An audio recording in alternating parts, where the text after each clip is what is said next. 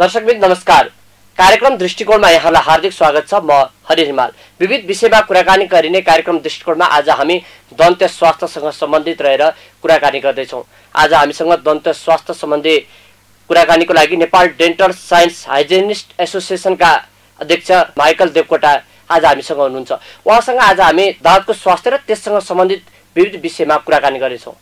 तपाईँलाई स्वागत छ स्टुडियोमा धन्यवाद धन्यवाद। पछिल्लो समय विशेष गरी दाँतको स्वास्थ्यको बारेमा तपाईँले ठुलो एजेन्डा उठाउनु भयो। म त्यहीबाट सुरु गर्न चाहेँ। दाँत माझ्दा प्रयोग गरिने मञ्जन र ब्रसको बारेमा तपाईँहरूले स्वास्थ्य मन्त्रालयसम्म कुरा उठाउनु भयो र यसको अनुगमनको लागि तपाईँहरूले पहल गर्नुभयो। यो आवश्यक किन थियो? सुरु यतैबाट गरौँ न। सर्वप्रथम यहाँलाई धन्यवाद। अब यो फर्स्ट के छ भने नेपालमा जति पनि टुथपेस्ट कम्पनीहरूले टुथपेस्टहरू तपाईँको डेलिभर गर्छ त्यो टुथपेस्टहरूको क्वालिटी के छ भन्ने कुराको मापदण्ड निर्धारण गर्ने कुनै पनि समिति स्वास्थ्य मन्त्रालय अन्तर्गत भएको हामीले चाहिँ अहिलेसम्म पाएको अवस्था छैन। त्यसो हुँदाखेरि अब लाखौँ तपाईँको सबै बिरामीहरूले अथवा सबै मान्छेहरूले आम पब्लिकले युज गर्ने मञ्जन त्यो बुरुस त्यसको चाहिँ क्वालिटीको विषय चाहिँ यो चाहिँ वास्तवमा स्वास्थ्य मन्त्रालयले हेर्नुपर्छ नि त भन्ने चाहिँ हाम्रो एउटा संस्थागत रूपमा नै हाम्रो डिसिसन भएर हामीले यसलाई अलिक कुरा उठाउनुपर्छ भन्ने हिसाबले हामीले मन्त्रालयमा त्यो कुरा उठायौँ। त्यो ब्रस पेस्टको मात्रै कुरा छैन। त्यहाँभित्र हजुर के छ भने सेन्सिडाइन तपाईँ सेन्सिटिभिटी पेस्ट गर्ने त्यो कन्ट्रोल गर्ने पेस्टहरूको विषय जो मान्छेको दाँत धेरै सिरिसिरी लाग्छ। त्यो सिरिसिरी लाग्दाखेरि चाहिँ त्यसलाई कन्ट्रोल गर्नको लागि प्रयोग गरिने मेडिकेटेड टुथपेस्ट। त्यसको विषयमा पनि स्वास्थ्य मन्त्रालयले अहिलेसम्म कुनै पनि मापदण्ड नबनाएको र त्यो खुलेआम हजुरले अहिले पनि गएर हेर्न सक्नुहुन्छ। भाटपट्टि नै सुपर मार्केटहरूमा चाहिँ खुलेआम पाउने अवस्था छ। त्यस कारणले गर्दा हामीले उठाएको कुरा के हो भने कम्तीमा नै स्वास्थ्य मन्त्रालयले कुन चाहिँ चिज कसको अथोरिटीमा बेच्नुपर्ने नीतिगत व्यवस्था गर्नुपर्छ भन्ने चाहिँ हाम्रो मन्त्रालयमा चाहिँ हाम्रो आफ्नो धारणा यो अहिलेसम्म मन्त्रालयले यसको बारेमा नीतिगत व्यवस्था कुनै गर्दै नगरेको कि आवश्यक नपुगेको? अब हामीले बुझ्दा गरे जस्तो लाग्दैन। अब गरेको छ भने त त कार्यान्वयन हुनु पर्यो नि त। नीतिगत रूपमा स्वास्थ्य कार्यान्वयन सम नहुने समस्या एउटा हो नीतिगत समस्या अर्को। कार्यान्वयन नहुने समस्या अहिलेको बजारको दुरावस्थाको कारणले पनि त कतिपय कार्यान्वयन हुँदैन। एकातिर व्यापारीको मनोमानी अर्कोतिर सरकारको नीतिमा हुने अस्पष्टता। त्यसको कारणले पनि कार्यान्वयन हुँदैन। एकातिर सरकारले नीति नै नबनाइदिएका कारण अनुगमन हुँदैन। अनुगमन गर्ने निकाय पनि धेरै भएका कारण नियमन हुँदैन। यहाँले गरेको कुरा त्यो एउटा भ्यूबाट ठिक हुनसक्छ। तर हाम्रो भ्यू के हो भने सरकारले नीति नियम ऐन निर्देशिका कार्यविधि जे जे बनाए पनि त्यसको कार्यान्वयन गर्ने एउटा कुनै न कुनै मिटिङ त हुन पर्यो। कुनै न कुनै स्टेक होल्डरको स्टेरिङ कमिटी त हुन पर्यो। कुनै न कुनै तपाईँको यसको कम्पोजिसनको बारेमा मन्त्रालयले केही त बोल्नु पर्यो। त्यस कारणले गर्दा हाम्रो चाहिँ बुझाइ के हो भने यो बनेको छ भने पनि त्यो आउनु पर्यो। तर आएको भए त कम्तीमा पनि केही न केही त रिजल्ट त आउनु पर्थ्यो नि त। अहिले स्वास्थ्य मन्त्रालयलाई तपाईँले सोध्नुभयो भने तपाईँहरूले नेपाल सरकार औषधि व्यवस्था विभागलाई पनि सोध्न सक्नुहुन्छ तपाईँहरूको मातहतमा कुन कुन टुथपेस्ट कम्पनीहरू चाहिँ नेपालमा बजारमा पाइन्छ त? तपाईँको मातहतमा कुन कुन तपाईँको टुथपेस्ट यो मेडिकल टुथपेस्ट बजारमा पाइन्छ त? तपाईँहरूले नेपालमा चाहिँ कतिवटा फ्याक्ट्रीहरूको चाहिँ तपाईँले अनुगमन गर्नु भएको छ त? त्यो टुथपेस्टहरू चाहिँ निकालेको चाहिँ कम्पोजिसनको पार्ट हो तिनीहरूले गर्ने डेलिभरीको पार्ट हो तिनीहरूले चाहिँ राज्यलाई सुसूचित गर्ने कुरा जस्तो अब टुथपेस्ट कम्पनीको दायित्व उसले बेच्ने मात्रै होइन। उसले नेपालमा कम्तीमा पनि जनताहरूलाई मुख स्वास्थ्यको विषयमा जनचेतना अभिवृद्धि गर्न सक्छ। मुख स्वास्थ्यको विषयमा उसले स्कुल ओरल हेल्थ प्रोग्रामहरू गर्न सक्छ मुख स्वास्थ्यको विषयमा उसले जिङ्गलहरू बजाउन सक्छ र मुख स्वास्थ्यको विषयमा उसले राज्यको त्यत्रो तपाईँको करोडौँको चिज दैनिक तपाईँको प्रयोग गर्ने कुरालाई उनीहरूले केही न केही ट्वेन्टी पर्सेन्ट अथवा थर्टी पर्सेन्ट चाहिँ नेपालको हितमा हुने गरेर पब्लिकको हितमा हुने गरेर त्यो कुरा चाहिँ गर्नुपर्छ। पहिलो कुरो त जनस्वास्थ्यको विषय प्रतिशतमा भन्दा नि यो शत प्रतिशत हुनुपर्छ। किनकि जनस्वास्थ्यसँग खेलबाड हुने कुनै पनि प्रकारका रासायनिक पदार्थहरू प्रयोग गर्नु हुँदैन त्यसमाथि मञ्जन भन्नेको यस्तो चिज हो जुन दैनिक रूपमा प्रयोग गरिन्छ त्यो पनि सिधा ओरल मुखमा प्रयोग गरिने चिज। हो यसको बारेमा सरकारले यस बारेमा सरकारले नीति नियम नबनाइदिँदाखेरि एकातिर व्यापारीहरूले जस्तो पनि उत्पादन गरिरहेछन्। अर्को हामी सस्तो अथवा त्यो फ्लेभरको नाममा अनेक प्रकारका पेस्टहरू प्रयोग गरिरहेका छौँ। तिनवटा कुरा। जस्तो एक नम्बरमा यहाँले उठाएको कुरा जस्तो बजारमा कस्तो खालको पेस्टहरू चाहिँ पब्लिकले युज गर्नुपर्छ भन्ने कुरा गर्नुभयो। अब यो पहिलो कुरा त के छ भने फ्लोराइड भएको जो चाहिँ एन्टी क्यारिज तपाईँको किराहरूलाई नलाग्नको लागि बचाउने खालको जुन कन्टेन्ट पेस्टमा पाउनुपर्छ त्यो कन्टेन्ट भएको पेस्ट बजारमा आउनु पर्यो नम्बर वान। नम्बर टू त्यो पेस्टहरू आउँदै गर्दा त्यो ब्रसको क्वालिटी पनि तपाईँको किनभने दाँत माझेर तपाईँको पनि बिग्रेका घटनाहरू छन्। जस्तो तपाईँको जति बिरामीले दाँत माझ्नुहुन्छ नाइन्टी पर्सेन्ट पेसेन्टले अथवा नाइन्टी पर्सेन्ट मान्छेहरूले राम्रोसँग तपाईँको प्रोपरली तपाईँको जान्ने हिसाबले दाँत नमाजेर पनि त्यो दाँत त्यो त्यो ब्रसले दाँतको पार्टहरू खिने दाँतको तपाईँको चाहिँ त्यो हरेक पार्टहरूमा सिरे लाग्ने त्यो दाँतलाई त्यसले खियाउने काम गरिरहेको छ भनिसके पछाडि यो पार्टहरू के हुन्? कस्तो खालको ब्रस प्रयोग गर्ने? कस्तो बिरामीलाई कस्तो दाँतको कन्डिसन भएकोलाई कस्तो ब्रस प्रयोग गर्ने? मञ्जनको पाटो तपाईँको चाहिँ के के तपाईँको कन्टेन्ट भएको मञ्जन प्रयोग गर्ने? नेपालको कन्टेस्टमा के हुने? बाहिरको कन्टेस्टमा के हुने? होइन अब हामीले बाहिरको मान्छेहरूले प्रयोग गरेको चिजहरू नेपालको पार्टमा के छ? रिसर्चहरू गरेर सबै पार्टहरू गरेर यसलाई चाहिँ एउटा कमिटी बनाएर कम्तीमा त्यो कमिटीले चाहिँ नेपालको कन्टेस्टमा चाहिँ यो छ। त्यो कुरा पहिला बनाउनु पर्यो। त्यस पछाडि मात्रै हामीले पेस्टको विषय यो यस्तो खालको पेस्टहरू चाहिँ प्रयोग हुनसक्छ तपाईँको विचारमा चाहिँ एउटा गुणस्तरीय पेस्ट हाम्रो नेपालको सन्दर्भमा गुणस्तरीय पेस्टमा के के आवश्यक पर्छ? होइन अब हाम्रो यो कन्टेनरहरू धेरै खालको हुन्छ फुल लाइट क्याल्सियम सबै थुप्रो पार्टहरू त्यसमा चाहिँ कम्पोजिसनबाट बन्नुपर्ने हुन्छ। अब अहिले बजारमा तपाईँको फुल लाइट नभएको पेस्टहरू पनि छेपछेप्ती पाउने अवस्था देखिएको छ। अब यो धेरै कुराहरूको मापदण्ड चाहिँ तपाईँको बिग्रिएको हुनाले चाहिँ मैले यो भित्र कन्टेन्टको भित्र जानुभन्दा पनि अहिले हामीले उठाएको इस्यु चाहिँ के छ भने त्यो कन्टेन्टको पार्टमा हामीले ओपन बस गर्न तयार छौँ। ओपन बस त गर्न तयार छौँ। विषयमा- लागि नीति चाहियो। र हामीले भित्र छलफल गरिरहेका छौँ। र अहिले हाम्रो मन्त्रालयले भनाइ चाहिँ तिनवटा कुरा हो। तिनवटा विषयवस्तु हामीले उठाएको छौँ नम्बर वान पब्लिकले प्रयोग गर्ने टुथपेस्टहरू त्यो टुथपेस्टहरूको क्वालिटी के हुने त्यो टुथपेस्टहरू चाहिँ हामीले दैनिक प्रयोग गर्दाखेरि तपाईँको त्यसको चाहिँ के? असरहरू के हुने र त्यो ब्रस अथवा पेस्ट प्रयोग गरेर त्यो पेस्टबाट हुने क्षति अथवा कुनै हानि हुँदाखेरि त्यसको चाहिँ त्यसलाई तपाईँको क्षतिपूर्तिको हिसाबले अथवा भोलि चाहिँ त्योमा भएको अप्ठ्यारोपनलाई चाहिँ कसले सल्टाउने भन्ने कुरा चाहिँ हामीले उठाएको विषय भयो। नम्बर एक नम्बर दुई तपाईँको लाइट भएको टुथपेस्टको कुरा गरेँ मैले। अर्को चाहिँ मेडिकेटेड टुथपेस्ट जसले तपाईँको मान्छेलाई बिरामी भएपछि प्रयोग गर्ने औषधि झन्ने तपाईँको मन्छन् अब औषधि भनेको के हो भने सर्टेन पिरियड सर्टेन टाइम त औषधि त चार हप्तासम्म प्रयोग गर्न सक्छ। डेन्टिस्ट अथवा डेन्टल हाइजिनिस्टको तपाईँको सल्लाहमा उसको दाँतको कन्डिसन हेरेर त्यो टुथपेस्ट प्रयोग गर्नुपर्ने मेडिकल टुथपेस्ट प्रयोग गर्नुपर्ने ठाउँमा। अब तपाईँको लङ टाइम छ महिना एक वर्ष दुई वर्ष मान्छेहरूले त्यो पेस्टहरू प्रयोग गरिरहेको पनि बजारमा देखियो। अन्त लङ टाइम प्रयोग गर्दा के हुन्छ पोटासियम नाइट्रेट जस्तो तपाईँको त्यहाँ चाहिँ कन्टेनर हुने हुँदा त्यो चिजहरूले मान्छेको ओरल क्याभिटीदेखि लिएर किडनीसम्मकोदेखि लिएर अरू शरीरमा पनि त्यसले चाहिँ असर गर्ने त्यसको कन्ट्रा इन्डिकेसनमै त्यो कुराहरू इन्क्लुड छ। भने तर पार्टमा त यस्तो छ नि। त्यसमा। चाहिँ जस्तो तपाईँहरू पनि तपाईँहरू डेन्टल हेल्थको सर्जन तपाईँहरू हो तपाईँहरूले चाहिँ जसरी आफ्ना ग्राहकलाई चाहिँ यो कारणले चाहिँ तपाईँहरूको दाँतमा स्वास्थ्य हुन्छ तपाईँहरूको दाँत यो कारणले सुरक्षित हुन्छ भनेर तपाईँहरूले औषधि दिनुहुन्छ औषधि चलाइदिनुहुन्छ। उहाँको तत्कालको समस्या समाधान गर्ने बाहनामा त्यो औषधि लामो समय प्रयोग गर्दा तपाईँहरूकै कारण चाहिँ त्यो पेसेन्टले लामो समयसम्म त्यो औषधि प्रयोग गरिन्छ गर्छन् भन्ने पनि छ नि। त्यसो होइन त्यसो होइन यो के हो भने हामीले बिरामीलाई यो औषधिको पार्टबाट हामीले प्रयोग गर्ने भनेको सर्टेन टाइम तोकेको हुन्छ। हजुरले अहिले पनि हेर्नु तपाईँले कुनै डेन्टल क्लिनिक अथवा तपाईँको पढेको डेन्टिस्ट अथवा डेन्टल हाइजिनिस्टको तपाईँ पुग्नु भयो भने उहाँहरूले दिने सजेसन भनेको तपाईँले केही समय यो प्रयोग गरेर हेर्नुहोस्। योबाट कम भएन उपचारको पद्धतिमा जानुपर्छ है। त्यो त किन सर्टेन पिरियड जुन चिज चाहिँ तपाईँको सामान्य हिसाबले कन्ट्रोल हुन्छ भने किन ठुलो कामहरू गर्ने किन उपचार पद्धतिमा जाने भन्ने हिसाबले चाहिँ हामीले चाहिँ तपाईँको टुथपेस्टको चाहिँ प्रिस्क्रिप्सन गर्ने पाटोहरू त्यहाँ रहन्छ मेडिकल टुथपेस्टको पाटो। तर के चाहिँ होइन भने हामीले तपाईँको बिरामीलाई चाहिँ स्वास्थ्यमा चाहिँ थाहा नै नपाउने गरेर बिरामीलाई तपाईँको अप्ठ्यारो हुने हिसाबले त के छ भने बजारमा यो। प्राविधिक पक्ष भएको हुनाले चाहिँ यसले चाहिँ तत्काल प्रतिक्रिया दिने तत्काल त्यसले निको हुने र त्यो लामो समयसम्म प्रयोग गर्न परिरहने कतिपय टुथपेस्ट पनि छ टुथ पाउडरहरू पनि छ यसलाई चाहिँ सजेस्ट गरेर चाहिँ युजमा ल्याउने त्यसले गर्दाखेरि पनि अलिकति चाहिँ यो डेन्टल हाइजिनिस्टहरूको कारणले पनि आम नागरिकहरू चाहिँ अलमलमा परेको भन्ने पनि गुनासाहरू छन्। त्यसो छैन हामीले तपाईँले हेर्नुभयो भने अहिले देशको सत्तर जिल्लामा अहिले सर्भिसको पार्टबाट हेर्नुहुन्छ भने डेन्टल हाइजिनिस्ट सर्भिस गरेको अवस्था छ। किन प्रायः तपाईँको अहिले जि जिल्ला लेभलसम्म डेन्टल सर्जन पुगेको अवस्था छैन।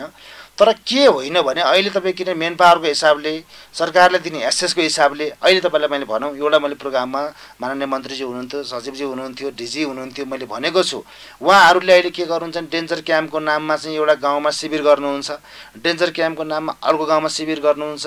तर त्यो बजेट चाहिँ तपाईँ राष्ट्रिय रूपमा चाहिँ तपाईँहरूले अवेरनेस फैलाउने खालको चाहिँ बजेटमा प्रयोग गर्नुहोस् भन्ने हामीले बारम्बार भनेको छौँ। मन्त्रालयमा बारम्बार मैले तपाईँको मन्त्रीको च्याम्बरमा सचिवको च्याम्बरमा भनेको कुरा हो यो। त्यो किन भनेको भने अहिले आयोडिनको कुरा। हामीले आयोडिन तपाईँको अब अब अहिले पनि प्रयोग गरौँ भनेर जिङ्गलहरू बजिरहेका छन्।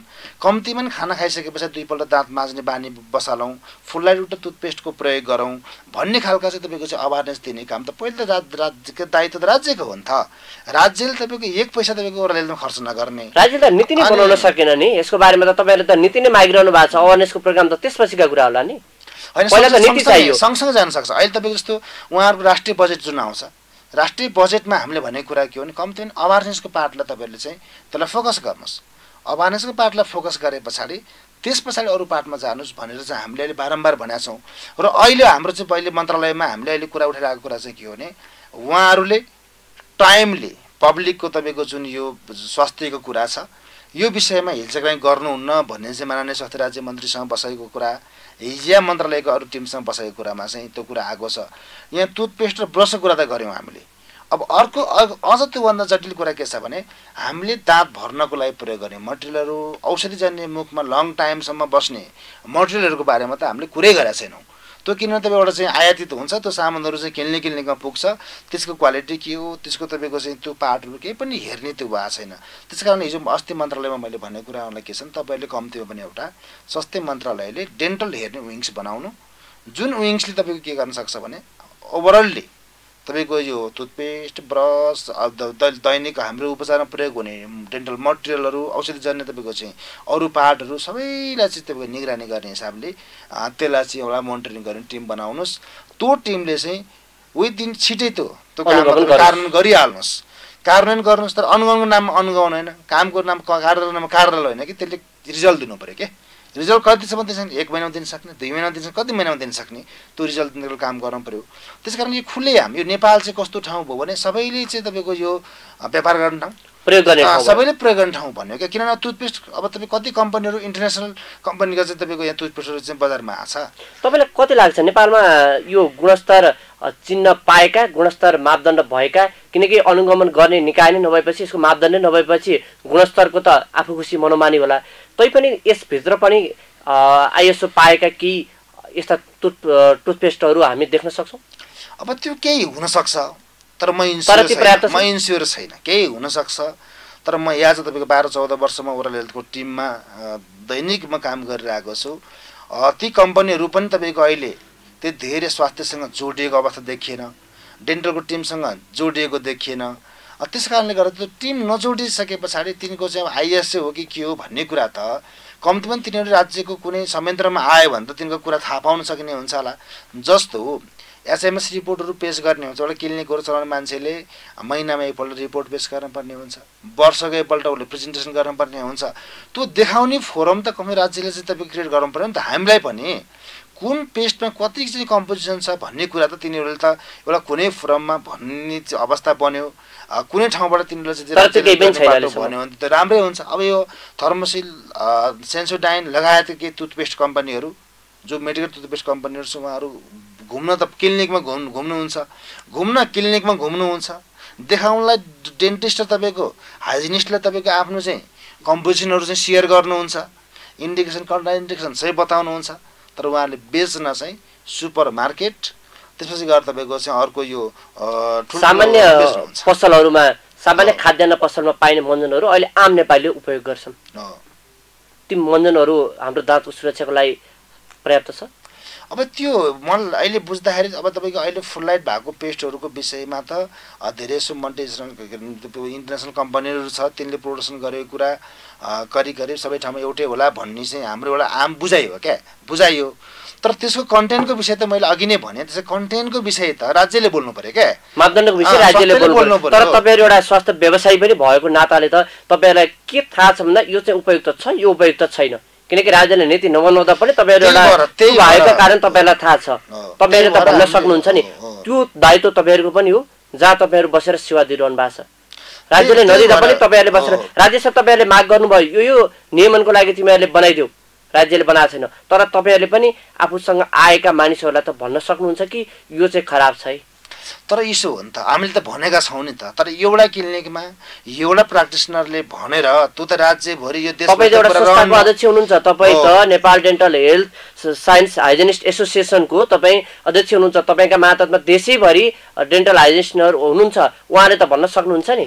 तपाईँहरूले जानकारी। गरौँ मैले? मैले हामीले प्रत्येक वर्ष प्रत्येक वर्ष मार्च ट्वेन्टीमा हामीले वर्ल्ड ओरल हेल्थ डे मनाउँछौँ।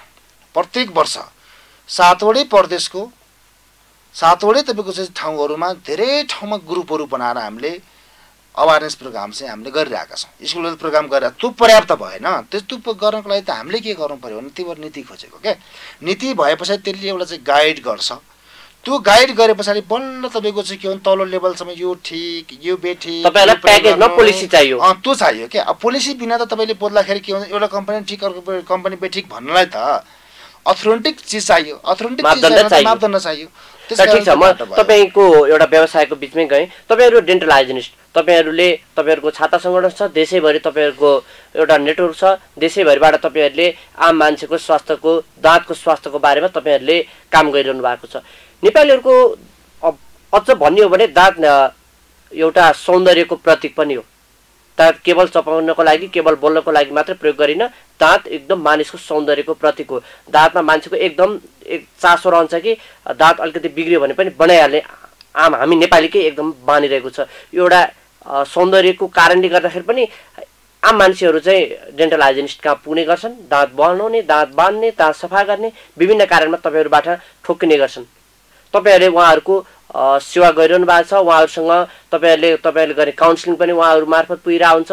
तपाईँहरू किन भन्न सक्नुहुन्न यो चाहिँ मञ्जन राम्रो छ यो मञ्जन राम्रो छैन? यो चाहिँ तपाईँहरूले प्रयोग गर्ने त्यो दाँत बनाउँदा प्रयोग गर्ने। अहिले तपाईँले भन्नुभयो सेन्सोडाइनका कुराहरू भयो पेप्सिक्रिन लिनुपर्ने सामग्रीका कुराहरू भयो। यो चाहिँ प्रयोग गर्न उपयुक्त हुन्छ यो चाहिँ प्रयोग गर्न उपयुक्त हुन्न। तपाईँहरूले त्यो भन्नुहुन्छ भन्नुहुन्न। तपाईँहरूको नेटवर्कभित्र चाहिँ यसको विषय मैले- बताएँ। तपाईँ अब किन मैले यो अहिले तपाईँ भित्र छिरेर मैले भन्नुपर्ने अवस्था रह्यो। नम्बर वान के भन्छ डेन्टलको पनि विधाहरू छ। डेन्टलको विधाहरू छ। तार बाँध्ने कन्सन्ट्रेन्ट तपाईँको अर्थोडोन्टिक्स हुन्छ। त्यसमा पनि ओरल सर्जरी गर्ने तपाईँको सर्जनहरू हुन्छ। सबै टिमवर्क कति उपचारहरू टिमवर्कमा हुन्छ कति उपचारहरू चाहिँ तपाईँको सिङ्गल पनि हुन्छ। यो तपाईँको उपचारको प्रकृति अनुसार हुन्छ। नम्बर वान नम्बर टू अब हाम्रो दायित्व के हो भने हामीले काउन्सिलिङ गर्दा पेसेन्टहरूलाई प्रत्येक तपाईँको प्र्याक्टिसनरले भनेको हुन्छ। चाहे डेन्टिस्ट होस् चाहे डेन्टल हाइजिनिस्ट भनेको हुन्छ। र अहिले त रमाइलो पछि के रह्यो र नेपाल सरकारले पाँच दस पन्ध्र बेडको अस्पताल जुन तपाईँको एउटा नमुनाको रूपबाट आधारभूत तपाईँको सर्भिस जनतालाई दिनुपर्छ भनेर नेपाल सरकारले डेन्टल सर्भिसलाई पनि पाँच बेड दस बेड र पन्ध्र बेडको अस्पतालमा अहिले प्रस्ताव गरेको छ तर। मेरो मात्रै उपलब्धि अथवा टिमको मात्रै उपलब्धि अथवा हाम्रो सङ्गठनको उपलब्धि होइन कि अब के हुन्छ नि तपाईँलाई भनेको जस्तो कुरा। अवेरनेसको पाटो अब त्यो पाँच बेडेड हस्पिटलमा रहने साथीहरूले त्यो इलाकामा गर्न सक्नुहुन्छ। महिनामा हप्तामा अथवा तपाईँको पन्ध्र बिस दिनमा उहाँहरूले के गर्न सक्नुहुन्छ भने त्यहाँबाट आउटरिच निस्केर oral health school oral health programme गर्न सक्नुहुन्छ सामुदायिक दन्त स्वास्थ्य कार्यक्रम गर्न सक्नुहुन्छ टुथपेस्टको बारेमा बताउन सक्नुहुन्छ टुथब्रसको बारेमा बताउन सक्नुहुन्छ डेन्टल क्यारिज दाँतहरू किरा कसरी लाग्न सक्दैन भनेर बताउन सक्नुहुन्छ। सबै आम कुराहरू उहाँहरूले त्यहाँ दिन सक्नुहुन्छ। त्यस कारण गर्दा यो के हुन्छ भने मान्छेको ह्याबिटमा चेन्ज ल्याउने कुराहरू र यो जानकारी दिने कुराहरू चाहिँ के हुन्छ भने टाइम लाग्छ। मान्छेले त्यसलाई एक्सेप्ट गर्नु टाइम लाग्छ। तर त्यो टाइम लागे तर पनि त्यो त्यो दिने निकाय पनि। अब अलिकति अथेन्टिक हुनु पर्यो। हो। राज्यले त्यसलाई पहल गर्नु पर्यो। हरेक कुरा राज्यसँग ठोकिन्छ। तपाईँहरू एउटा व्यवसाय गर्दै हुनुहुन्छ तपाईँहरू एउटा व्यावसायिक जीवनबाट नागरिकको सेवा गर्नुभएको छ तर त्यसलाई चाहिँ राज्यले अवेरनेसको रूपमा अगाडि बढाउनु पर्यो। त्यही भएर अब गर्नुपर्छ सरकारले के हो भने अब हामीले सरकारले मात्रै गर्नुपर्छ भनेर भन्नुभन्दा पनि उहाँहरूलाई हामीले भने तपाईँलाई हाम्रो साथ के चाहिन्छ? हामीलाई तपाईँलाई सहयोग गर्नुपर्ने कुरा के हो? त्यो हामी गर्न तयार छौँ। तर एटलिस्ट तपाईँहरूले त काम गर्नु पऱ्यो नि भन्ने कुरा भएको छ। अब स्वास्थ्य मन्त्रालयले यसलाई हिन्केन गर्ने। यत्रो कुरा हुँदाखेरि पनि पब्लिकको कुरा उठाउँदा पनि त्यसलाई चाहिँ उहाँहरूले चासो दिनु भएन भने मन्त्रालयका ग्राउन्डभरि मान्छे उपस्थित हुने। होल डेन्टल हाइजिन स्टोर तपाईँहरूले कुरा उठाउनु भयो यसमा आम नागरिकको चासो पुगेको छ। मेन कुरा त नागरिकले आम नागरिकले बुझ्ने भनेको हामीले प्रयोग गर्ने ब्रस मञ्जन यो चाहिँ उपयुक्त छैन राम्रो छैन। यो चाहिँ स्वास्थ्यको लागि हानिकारक छन्। यति बुझेका छन्। तपाईँहरूले भने जस्तो तिनवटा बुँदामा तपाईँहरूको मुख्य बुँदा आम नागरिकले बुझ्ने बुँदा भनेको एक नम्बरको बुँदा हो। अन्य कुराहरू चाहिँ त्यस्तै बुझेका नागरिकहरूले मात्रै अन्यले बुझ्दैनन्। तर यो मञ्जन र ब्रस यदि सरकारले यसमा अझै पनि नीति बनाएन भने डेन्टल हाइजेनिस्ट एसोसिएसन के गर्छ? होइन मलाई भनिसकेँ। अब हामीले के गर्छौँ? नम्बर वान तपाईँलाई भनेको कुरा करेक्सन गर्नुपर्छ लाग्यो। किन पब्लिकले जाने मेसेज हो? सबै पेस्टहरू गलत छैन सबै ब्रसहरू गलत छैन। हामीले अहिले मात्र भन्न खोजेको कुरा के गलत भएको चिजलाई ब्यान गर्नु पऱ्यो र राम्रो भएको चिजलाई पनि सिस्टममा ल्याउनु पऱ्यो र त्यसले चाहिँ पब्लिकलाई राम्रो हुने काम गर्नु पऱ्यो भन्ने नम्बर वान त्यसलाई करेक्सन गरौँ भन्ने लाग्यो। नम्बर टू के हो भने तपाईँको स्वास्थ्य मन्त्रालयले यदि गर्न भने के गर्ने भन्ने कुरामा चाहिँ अब हामीले यहाँ जस्तो मिडियाहरू मार्फत हामी कुरा गर्न सक्छौँ। नम्बर वान नम्बर टू हामीले के गर्न सक्छौँ उहाँलाई खबरदारको हिसाबले चाहिँ यो किन गर्नुहुन्न भनेर चाहिँ अब किनभने सङ्घ सङ्गठनहरू हो यो किनभने तपाईँको राइट बेसको संस्थाहरू हो यसले तपाईँको त्यहाँ गएर चाहिँ आफ्नो कुराहरू भौतिक रूपमा राख्न सक्छ। अनि तपाईँको त्यसपछि गएर सूचना सञ्चारको माध्यमबाट राख्न सक्छ। सबै हिसाबले राख्न सक्छ। तर मैले भन्न खोजेको कुरा चाहिँ के हो भने अब हामीले यो चिजलाई चाहिँ केही न केही एउटा निशुल्कमा पुऱ्याएर पब्लिकको ओरल हेल्थ मुख स्वास्थ्य कुरा मात्रै छैन शरीर कुरा पनि छ यसमा। किन हामीले मुखमा प्रयोग गरिरहने मन छन् त्यो गुणस्तरको भएन भने त्यसले अन्य हाम्रो शरीरको अरू सिस्टमेटिक डिजिजहरूलाई पनि यसले कहिलेकाहीँ प्रशय दिन सक्छ। हरेक पार्टहरू चाहिँ हामीले हेर्नुपर्ने हुन्छ। त्यस कारणले गर्दा अहिलेको हाम्रो भनेको कुरा चाहिँ के छ भने कम्तीमा पनि नेपालमा बाहिर देशमा बनेका टुथपेस्ट कम्पनीहरू बाहिर देशकोले चाहिँ सर्टिफाई गरेर पनि नेपालको पनि त्यसलाई सर्टिफाई गर्ने एउटा युनिट बनाउनु पऱ्यो जुन युनिटले चाहिँ नयाँ आउने कम्पनीहरू अथवा नयाँ आउने टुथपेस्टहरूलाई पनि मोनिटरिङ गर्न सक्छ। त्यसको क्वान्टि तपाईँको क्वालिटीको विषयमा पनि एउटा गाइडलाइन यतिसम्मको क्वान्टिटी भएको अथवा यतिसम्मको क्वालिटी भएको पेस्ट नेपालमा चल्न सक्छ भन्ने कुरा त्यसले बताउन सक्छ। त्यसो भएको हुनाले चाहिँ हामी ढुक्क के छ भने सरकारले गर्छ। मन्त्रीज्यू पनि यसमा कति पोजिटिभ हुनुहुन्छ। हामी लाग्छौँ। अब अब त्यो अरू पार्टहरू त यहाँहरूसँग पनि जानकारी भइहाल्छ। तपाईँलाई अघि। पनि मैले बुझ्न खोजेको थिएँ नेपालमा यो दाँतको अलिक बढी नै मानिसहरूले अलिक बढी हेरचाह गर्छन् अन्यको तुलनामा सौन्दर्यसँग पनि जोडिएको कारणले गर्दाखेरि। कस्ता चाहिँ पेसेन्टहरू तपाईँहरूकोमा बढी आउने गर्छन् यो दाँतको रोगीहरूकोमा? जस्तो कोही हुन्छ दाँत किराले खाने हुन्छ कोही दाँत बिग्रेका हुन्छन् तपाईँहरू किनकि तपाईँ एउटा समग्र संस्थाको अध्यक्ष भएको नाताले मैले यो सोध्न पाएँ कि कस्ता चाहिँ दाँतका समस्याहरू भएका बिरामीहरू तपाईँका संस्थाहरूमा तपाईँका अब अहिले- क्लिनिकहरूसम्म अब आइपुग्छ अहिले यस्तो छ हजुरको नम्बर वान के छ भने धेरै बिरामीहरूको दाँत किराले खाने किनभने किन खानेकुराहरू राम्रो छैन। अहिले तपाईँ खानेकुराहरू चाहिँ जङ्क्स फुडहरू मान्छेले बढी प्रयोग गर्ने हुँदाखेरि चाहिँ बच्चादेखि ठुलो मान्छेसम्म दाँतहरू किराले खाएर आउने अवस्था छ। नम्बर दुई के छ भने अहिले अलिकति बढी चाहिँ तपाईँको दाँतहरू बाङ्गोटिङ हो भने समयमा दाँतहरू हल्लिँदाखेरि तपाईँको बच्चाको दाँतहरू जुन टाइममा हल्लिन्छ त्यो टाइममा ननिकाल्दाखेरि तपाईँको दाराहरू आउने बाङ्गो हुने त्यो दाँतहरू बाङ्गो हुँदाखेरि त्यसलाई फेरि तपाईँको चाहिँ अब त्यसलाई लाइनमा ल्याउनको लागि मान्छेले हेर्दैन कस्मेटिक हिसाबले ठिक छ भन्ने हिसाबले त्यसलाई करेक्सन गर्नको लागि पनि तपाईँको त्यो मिलाउने कुराहरूदेखि थुप्रो दाँतको विधाभित्रका रोगहरू थुप्रो छ किन दाँतै नहुने मान्छेहरू। अब अहिले मेन चाहिँ तपाईँको अहिले मैले भने जस्तो किराले खाने समस्याहरू नै बढी नेपालमा देखिया छ। त्यो किनभने मैले अघि नै भने ब्रस गर्ने तरिका पनि थाहा छैन। सही खालको ब्रस पनि प्रयोग गरिएको छैन। सही खालको मञ्जन पनि प्रयोग गरिएको छैन। प्रयोग गरे पनि तपाईँको एक टाइम ब्रस गरिन्छ दुई टाइम ब्रस गरेको अवस्था छैन। भने पछाडि अब ब्रसको मात्रै कुरा छैन, ब्रसले मात्रै सबै फोहोर ननिस्किन सक्छ। ब्रसले मात्रै ननिस्किन तपाईँको त्यस त्यो अवस्थामा चाहिँ हामीले फ्लसहरू युज गर्न सक्छौँ। डेन्टल चाहिँ तपाईँको ब्रसहरू युज गर्न सक्छ। धेरै कुराहरू त्योभित्र हुन्छ। भनेपछि अहिले सबभन्दा बढी भनेको हाम्रा नेपाली नागरिकको चाहिँ हेर्ने हो भनेदेखि किराले खाने समस्या। बढी देखिन्छ। बढी देखिन्छ। किनभने अहिले प्रायः साथीहरूले हामीले छल कुराहरू गर्दा छलफल गर्दाखेरि पनि तपाईँको किनभने मान्छेहरू नेपालीको चाहिँ त्यो किन देखिएको जस्तो पनि फिल हो भने बिग्रिएसी आउने अवस्था छ। नदुखिकन बिरामी नआउने अवस्था छ। दुख्ने भनेको किराले खाइसकेपछि दुख्ने हो। अनि त्यो अवस्थामा पनि बिरामीहरू अलिकति बढी क्लिनिकमा आउने अवस्था छ। त्यस कारणले गर्दा चाहिँ अहिले हाम्रो कन्सर्न चाहिँ के हो भने कम्तीमा पनि सबै मान्छेहरू लागेर ओरल हेल्थलाई चाहिँ ठिक ठाउँमा ल्याउनु पऱ्यो भन्ने चाहिँ छ। हेल्थको बारेमा मेन कुरो सरकारले पोलिसी बनाइदियोस् अवेरनेस ल्याइदियोस् त्यसमा हामी बसेर काम गर्न तयार छौँ त्यसको मापन हुनु पर्यो पर्यो, पर्यो पर्यो यदि होइन भने राज्यले गर्न सक्दैन भने त धेरै उपायहरू हुन्छ राज्यले गर्न सक्ने धेरै उपाय हुन्छ नि त? अब हामीले त्यो उपाय तयार? अब हामी त गर्न तयार भनेको त अब हामी प्राइभेट सेक्टरले अथवा तपाईँ कुनै अर्गनाइजेसनहरूले त हामीले गर्ने भन्ने कुरा छैन। किनकि होल्डरले पनि धेरै सरकारलाई धक्का दिएको त धेरै उदाहरण छ नि। तर हामीले गर्न सक्ने चाहिँ धेरै चिजहरू हुनसक्छ भित्रले। त्यो तपाईँ नेपाल। स्वास्थ्य व्यवसाय परिषदको पनि तपाईँ कार्य समिति सदस्य हुनुहुन्छ। तपाईँले यस्ता धेरै चिजहरूको अनुगमन गर्न सक्नुहुन्छ। त्यो ठाउँमा तपाईँहरू हुनुहुन्छ। तपाईँहरूलाई सरकारले दिए पनि नदिए पनि तपाईँहरू त्यसको माथि छाताबाट हेर्न सक्ने ठाउँमा हुनुहुन्छ। अब यो फरक कुरा हो। तपाईँले अहिले जस्तो म नेपाल सत्य व्यवसाय परिषदको म त्यहाँको एज अ बोर्ड मेम्बर। अब त्यो परिषदको एक्ट परिषदको ऐनले चाहिँ के भने के के हेर्ने भन्ने चाहिँ परिषदको ऐनमा क्लियर हुन्छ। अब हामी त्यहाँ हेर्ने भनेको तपाईँको नेपाल सरकारको यो नेपालको कानुनअनुसार स्थापित दुई हजार त्रिपन्न स्थापना भएको नेपाल सत्य व्यवसाय परिषदको समग्र ऐनभित्र बसेर काम गर्ने हो।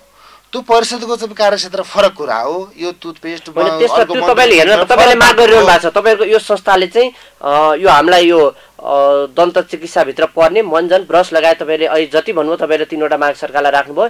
यसको चाहिँ हामीलाई अनुगमन गर्न जिम्मा दिनुहोस्। हामी सक्षम छौँ भनेर तपाईँले माग गर्नु त्यसरी अब फरक बुझाइ भयो। हामीले चाहिँ सरकारलाई भनेको कुरा के छन् तपाईँहरूले यो चाहिँ औषधि व्यवस्था विभाग अन्तर्गत चाहिँ अनुगमनको पाटो हुनसक्छ। या मन्त्रालयको कुनै विङले पा चाहिँ तपाईँको अनुगमन गर्न सक्छ। तर नेपाल सत्य व्यवसाय परिषदले गरिन्छ तपाईँको जनशक्तिको अनुगमन हो।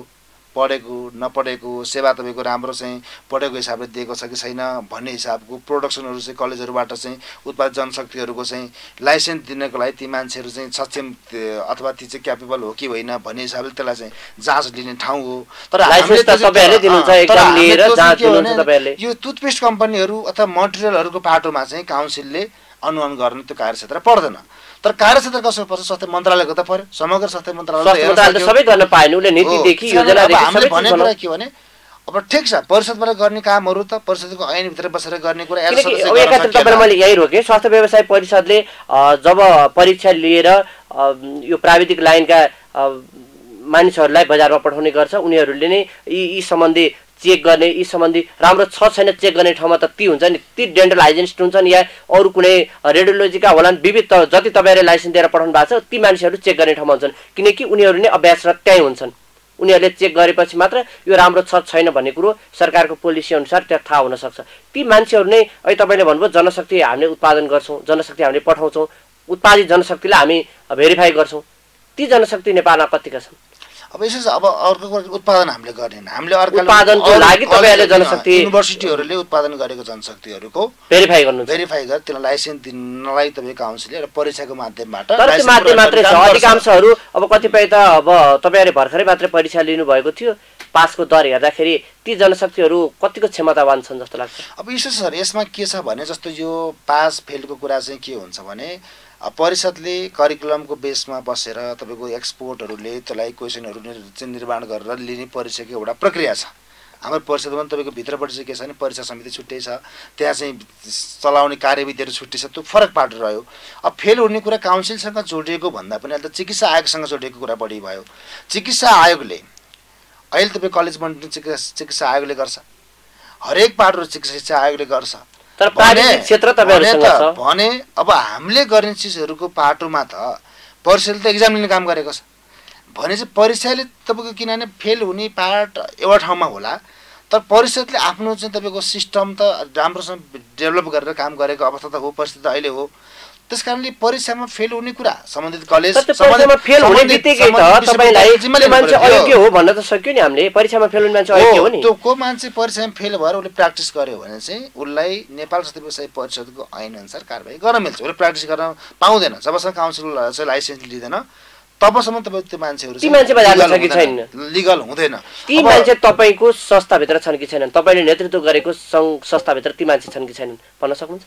अब यस्तो छ क्या अब संस्था हाम्रो के हो भने यस सङ्घको चाहिँ तपाईँको हाम्रो संस्थामा इन्ट्री हुनको लागि दर्ता भएको हुनु पऱ्यो परिषदमा लाइसेन्स भएको हुनु पऱ्यो। अब त्यस्तो हुँदाखेरि ती मान्छेहरूलाई त अब हामीले त के हो भने हाम्रो यस सनमा एज यस सनमा हामीले ती मान्छेहरूलाई त प्र्याक्टिस गर्ने त अथोरिटी त तिमीले गर्नुपर्छ त हामीले भने जब हाम्रो इन्ट्री नै तपाईँको पास भएको मान्छे हुनु तर तपाईँको त्यहाँ एउटा सञ्चालक त्यो भएर भएन नि त त्यहाँभित्र काम गर्ने जति डेन्टल हाइजेनिस्टहरू हुनुहुन्छ उहाँहरू सबै व्यवसाय त्यो परीक्षा पास गरेर आउनुभएको त छैन होला। लाइसेन्स भएका डेन्टल हाइजिनिस्टहरूले मात्रै प्र्याक्टिस गर्न पाउँछन्। तपाईँलाई म त्यति कुरा मात्रै भन्छु। नेपाल अनुसार। अब त्यो छैन भने जो व्यक्ति छैन त्यो व्यक्ति कानुनको दायरामा आउनुपर्छ। तपाईँहरूले अनुगमन त्यो तपाईँहरूको सङ्गठनभित्र त तपाईँहरूले अनुगमन गरेर हामी त राइट बेसिस संस्था हो नि त परिषदले गर्ने कुरा फरक कुरा रह्यो। होइन राइट बेस भए पनि आफ्नो आफ्नै संस्थाभित्र त्यो गैर कानुनी क्रियाकलाप गरेछन् भने त तपाईँहरूको संस्थालाई हानि पुर्याउने व्यक्ति त्यहाँ छन् भने त तपाईँलाई भनौँ मैले अब किनभने म आज धेरै भित्र नसाउँ भनेर मैले सर्फेसली कुरा गरेर आएको तपाईँलाई भनौँ नेपालको अधिकांश डेन्टल क्लिनिकहरू टप टप तपाईँको नाम चलेको डेन्टल क्लिनिकहरू र जो डेन्टल सर्जनले पनि रन गर्नु भएको छ त्यहाँ तपाईँले गएर हेर्नुभयो भने परिषद दर्ता नभएका मान्छेलाई असिस्टेन्ट रूपमा प्रयोग गरिरहेछ त्यो परिषदले नेपाल व्यवसाय परिषद तपाईँले हेर्नु होला परिषदको वेबसाइटमा गएर तिन चारपल्ट तपाईँको नोटिस निकालिसकेको छ परिषदमा दर्ता काममा नेपालका। अधिकांश सेक्टरमा हामी फार्मेसीदेखि क्लिनिकदेखि अस्पतालसम्म हेर्नु भने असिस्टेन्टले काम चलाएको अवस्था छ। यो तपाईँहरूको संस्थाभित्रै नि छ। बुझ्न यही पऱ्यो? त्यो परेन त्यो परेन। मैले तपाईँलाई त्यसरी चाहिँ मैले जोडेको होइन क्या। मैले जोडेको कुरा के छ भने पढेको मान्छेहरू हामीकोमा तपाईँको पढेको मान्छेले त प्र्याक्टिस गर्ने कुरा हाम्रो ऐन अनुसार काउन्सिलको नियम नम्स अनुसार छ। तपाईँले मलाई एसएम हिसाबले सोध्नुभयो भने त्यो एसएनले त्यसलाई गभर्न गर्न सक्दैन। पढेको नपढेको एसएनले हेर्न सक्दैन। यसमा दर्ता भएका मान्छेहरूलाई सदस्यता दिने कुरा हो नि त। तिनको पक्षमा बोल्ने कुरा हो। ती मान्छेहरूले भोलि चाहिँ तलमाथि काम गर्दा बिग्रियो भने त तिनको पक्षमा त हामी बोल्दैनौँ नि त नपढेको मान्छेको पक्षमा त। ऊ राइट बेस संस्था भन्दै गर्दाखेरि त्यस्ता इलिगल मान्छे अयोग्य मान्छेहरू उनी योग्य पनि हुन सक्छन् तर लाइसेन्स नपाएर बसेका मानिसहरू पनि त्यहाँ काम गरिरहेछन्। त्यसले तपाईँहरूकै राइट बेस संस्थामै त धावा बन्ने काम त गर्छ।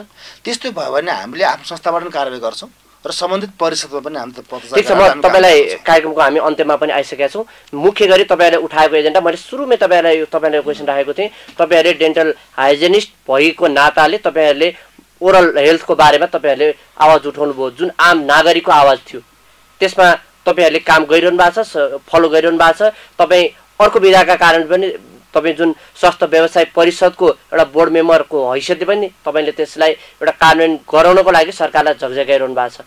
यो कार्यान्वयन भएर आउँदाखेरि आम नागरिकले पाउने एउटा सुविधा आम नागरिकले पाउने ओरल स्वास्थ्यको बारेमा जानकारी चाहिँ के हुनसक्छ? सरकारले जुन प्याकेजमा पोलिसी बनाउँदाखेरि। अब त्यो पोलिसी बनाउने कुरामा हाम्रो पनि तपाईँको डाइरेक्ट डाइरेक्ट इन्भल्भमेन्ट हुनसक्छ।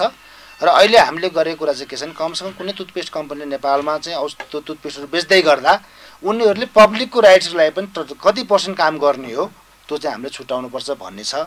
त्यस कारणले गर्दा अब मैले यो पार्टहरूमा अब कुनै दिन तपाईँसँग बसाइमा मैले कुरा गर्न सक्ने अवस्था रहिहाल्यो।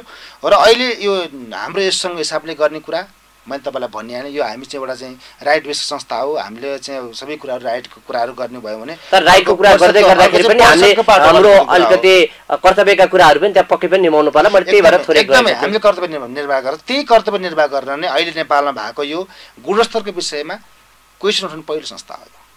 यो। गुणस्तरको विषयमा पहिलोपल्ट हामीले कुरा उठाएका छौँ र यो कुरा तपाईँको होल तपाईँको मिडियाले कभरेज गरेको छ होल पब्लिकमा पनि यो कुरा गएको छ त्यस कारण गरेर मैले अन्तिममा तपाईँलाई भन्ने कुरा के हो भने यो इस्युलाई हामीले निचोडमा पुर्याउँछौँ यसलाई एउटा टुङ्गोमा पुऱ्याएर समग्र नेपालीको ओरल हेल्थलाई चाहिँ हामीले राम्रो बनाउनुपर्छ भन्ने हाम्रो मिसन चाहिँ हामी पुरा गराउँछौँ। हस् तपाईँहरूको यो मिसनको लागि शुभकामना दिन चाहन्छु किनकि यो आम नागरिकको चासो आम नागरिकको स्वास्थ्यको विषय भएको कारण तपाईँहरूको यो योजनामा हामी साथ दिने सहित तपाईँलाई पनि शुभकामना दिन चाहन्छौँ। धन्यवाद धन्यवाद युनिभर्सल टेलिभिजन धन्यवाद किनभने अब यो बिचको अपडेटहरू पनि यहाँहरूलाई हामीले त्यो गर्ने छौँ अब यो हाम्रो समग्र ओरल हेल्थको विषयमा चाहिँ यहाँले टेलिभिजन मार्फत आम जनताहरूमा चाहिँ हाम्रो सूचना प्रवाह गर्ने एउटा चाहिँ एउटा माध्यम बन्नुभयो।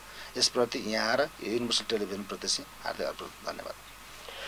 दर्शकबिन त्यति बेला हामी कुराकानी गर्दै थियौँ नेपाल डेन्टल साइन्स हाइजेनिस्ट एसोसिएसनका अध्यक्ष माइकल देवकोटासँग। उहाँसँग हामीले ओरल हेल्थका विषयमा विशेष गरी दाँतसँग सम्बन्धित रहेर दाँतमा प्रयोग गरिने विविध सामग्रीका विषयमा हामीले उहाँसँग कुराकानी गऱ्यौँ यी र यस्तै विषय लिएर हामी फेरि अर्को श्रृङ्खलामा आउने नै छौँ। अहिलेलाई भने मलाई पनि बिदा दिनुहोस्। नमस्कार।